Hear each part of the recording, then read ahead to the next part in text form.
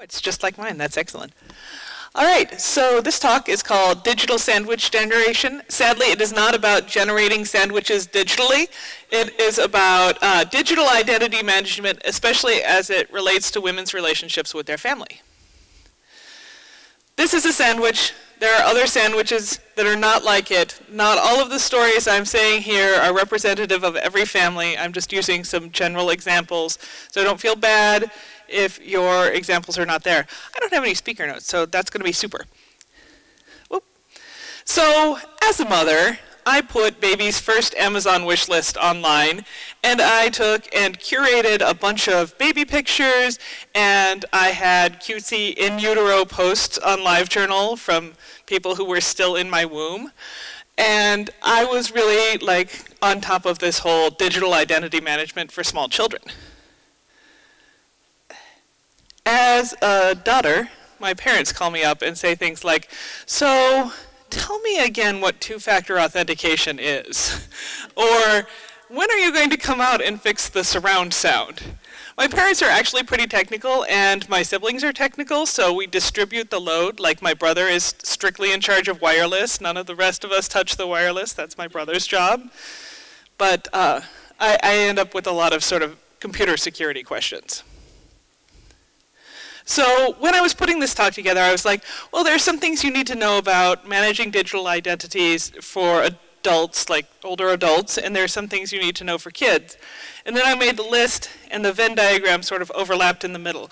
So here are the things that you need to know for everyone. Identity, names, and pseudonyms. Who do you think is scarier?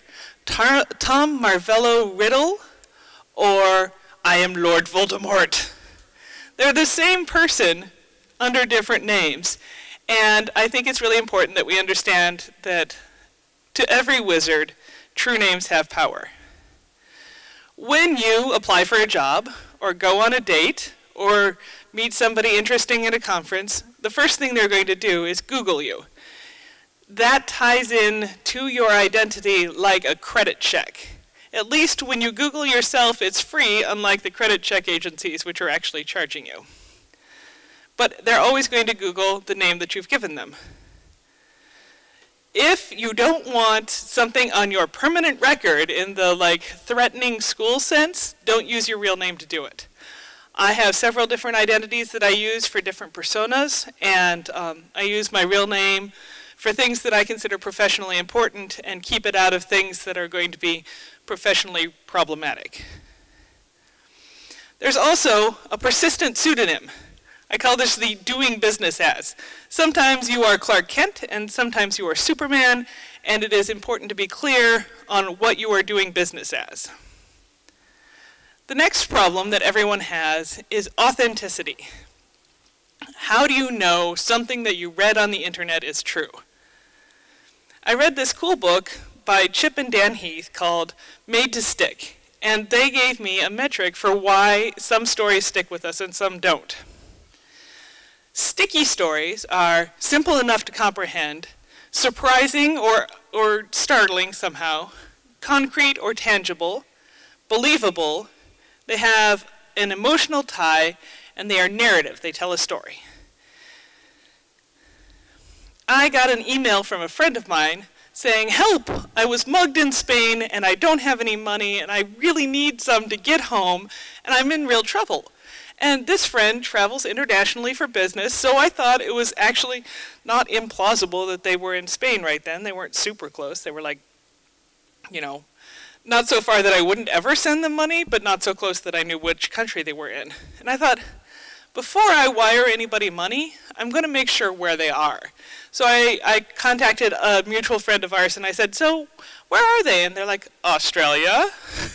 I'm like, oh, that's a scam where somebody has gotten a hold of their email address book and emailed me to ask for money that will get, then get diverted.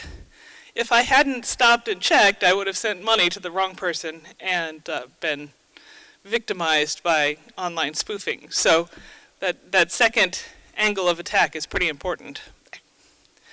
The next thing that I want everybody to understand is passwords and password keepers.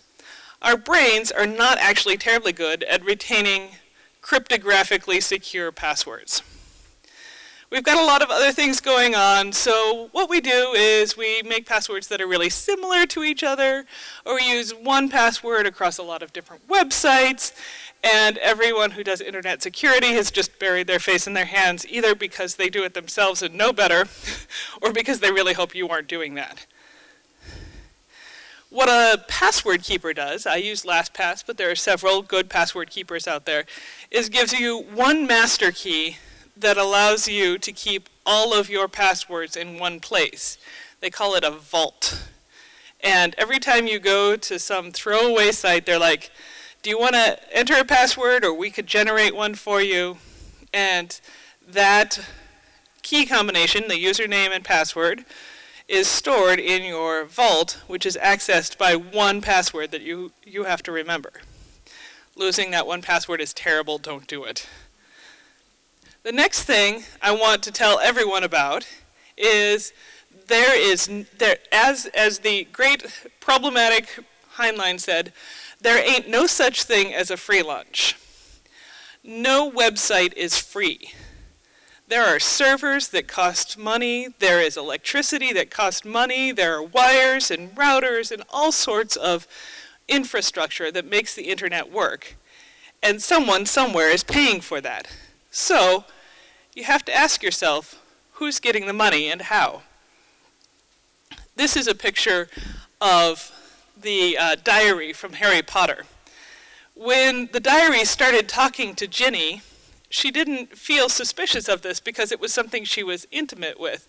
And she had long conversations with this diary. But the diary had its own agenda. We need to think about what the agenda of our personal diaries, of our websites is, because someone somewhere is making money. Sorry. Um, so, eh, are they making money from advertising? Are they making money from mining your data? Like the classmates.com thing is all about mining your data and selling it to other people in neat little packages. Is it about future revenue? There are a bunch of things out there that are gathering a user base that is then saleable as part of their company. So even if a startup site doesn't have any ads and doesn't seem to be asking a lot of questions, you've still been added to their active user database and you are part of their assets. So, you know, take a couple minutes to see if you can figure out, especially for sites you use really often, how it is being monetized. A couple years ago, I was looking at working for Twitter, well, like four years ago, and I wouldn't do it because I couldn't figure out how they were making their money. I'm like, they're going to have to make money somehow, Merely allowing us to change the world by talking to each other is not going to pay the bills. So whatever horrible way they're going to monetize, I can't see it yet. And so far they've monetized by doing sponsored tweets, which is not so bad. It's not great, but it's not so bad. But I feel like there's probably more coming down the line. So, I said we were going to talk about being a sandwich. The top layer of the sandwich is our elders. This is a picture of my dad and my daughter. And our elders are people who taught us to put on our socks and ride our bikes and behave ourselves in the world. And eventually there comes a point when they're going to need our help too. If we give them the tools that they need to be competent digital citizens, then they can take better care of us and everybody's happy. The first one, and this is hard, I hope it's a long time coming for all of us, is eventually you're going to have to close out your parents' accounts and deal with their estate, both physical and digital. And we have good scripts for how to deal with your parents' stuff, like you get together with your siblings and you split it up and you donate some stuff.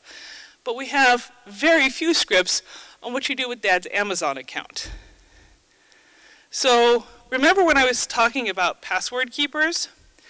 This is a great time to encourage your parents to set up a password keeper, write the password down, and stick it someplace that you can find. My parents keep theirs in a hymnal.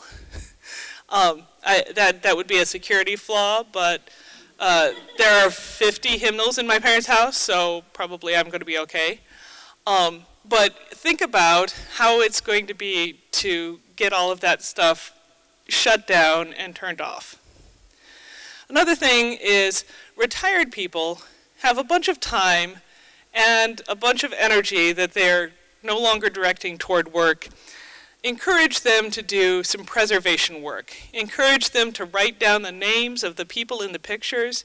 Encourage them to write down some stories, record some stories, do some stuff. Um, if you wait too long until they're old, old, it's going to be a lot harder to digitally preserve that data. Who recognizes all of these disks? Yeah.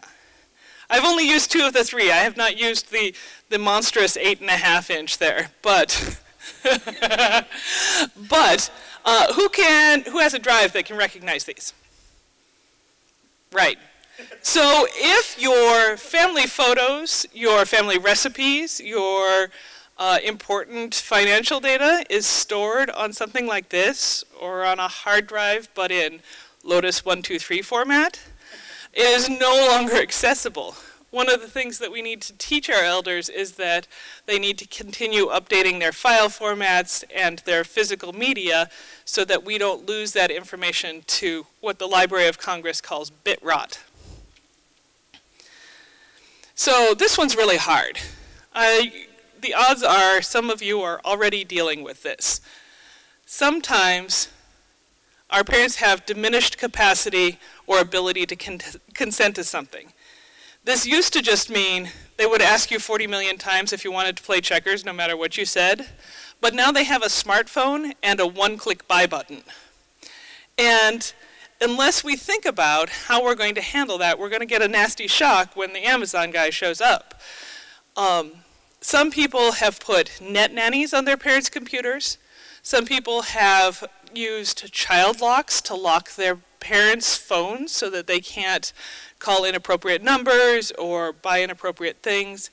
Some people are using two-factor authentication to just double check and verify that this is something that parent is actually like consciously purchasing.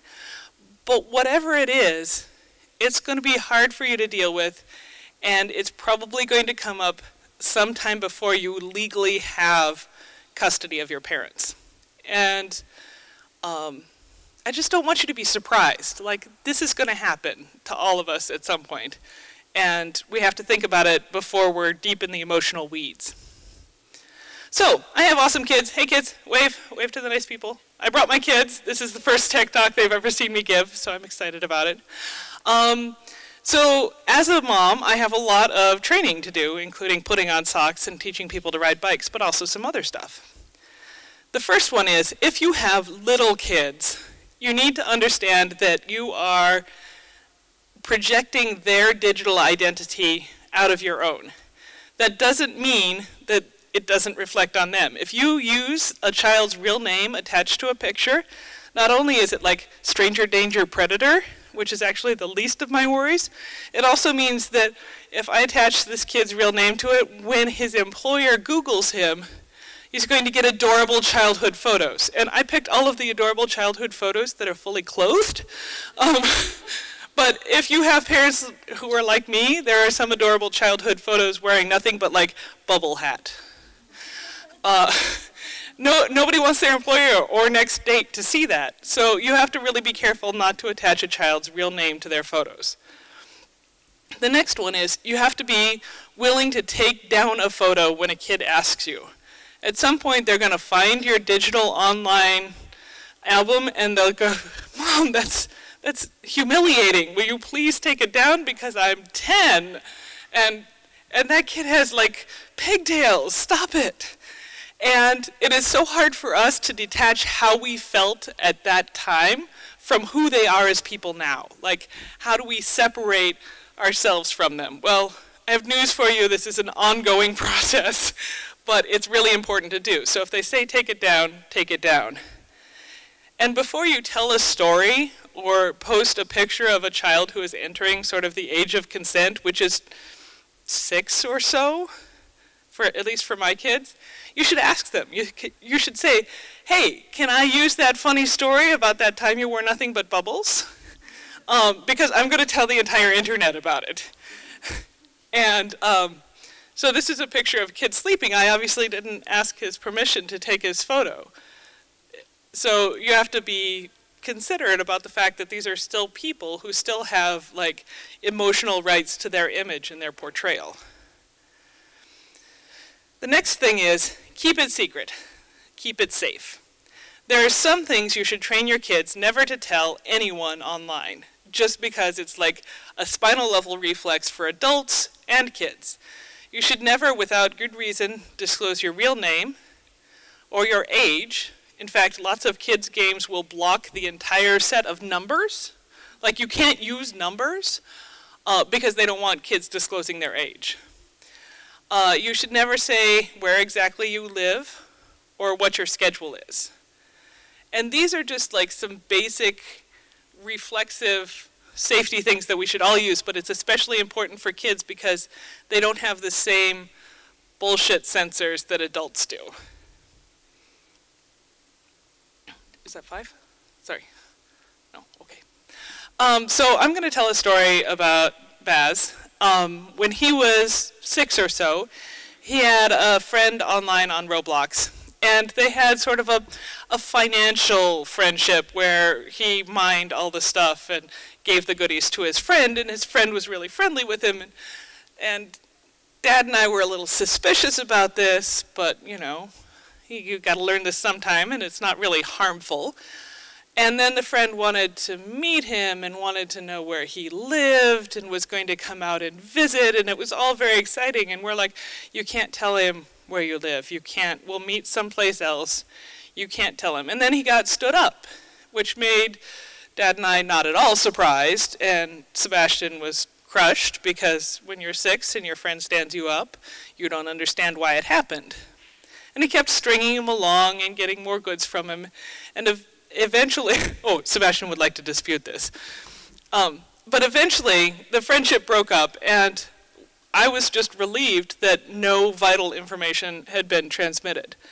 And this is just like one little story of sort of future-proofing your kids. So the next thing is also about future-proofing your kids. Mickey talked a lot about 15-year-olds who are behaving badly on the internet, and I'm really terrified of raising the next generation of trolls. It would be really easy, and I know this because I had my own trollish moments, which fortunately occurred in the BBS days, and there are no records of them, but it's possible I was not an entirely polite person. So I am ingraining in my children this rule. Is it true? Is it necessary? Is it kind? If it is not at least two of those three things, why are you saying it? If it is not true and kind, why would you say it? It might be true that somebody has toilet paper off their, their shoe, but if they're not going anywhere, why embarrass them? So this trifecta of, of consideration was simple enough to teach like a five-year-old. Like, is it true? Do you need to say it? Is it nice to say? Um, and yet I think scales to adulthood. Like, is it true? Is it necessary? Is it kind? So the other thing that I really want to teach children, this is a troll face for those who, who have somehow missed the horrible phenomena of the internet. Um, the other thing that I really want to teach my kids is that online is real life. I never want to say to them, oh, well, that's just an online friend. Oh, you can ignore that because it's just people on the internet. If I teach them that they are not engaging in the internet as an honest activity, then when they go out, they're not going to believe people on the other side of the screen are real. And I really think it's important. I met my spouse online. I, I blogged the children into life. Like, there's so much of my life that's online. And to say online life is not real is a lie, and it leads to damaged relationships online. So the sandwich is kind of intimidating. We're, we're squashed on both sides sometimes. But sometimes you eat the sandwich instead of the sandwich eating you.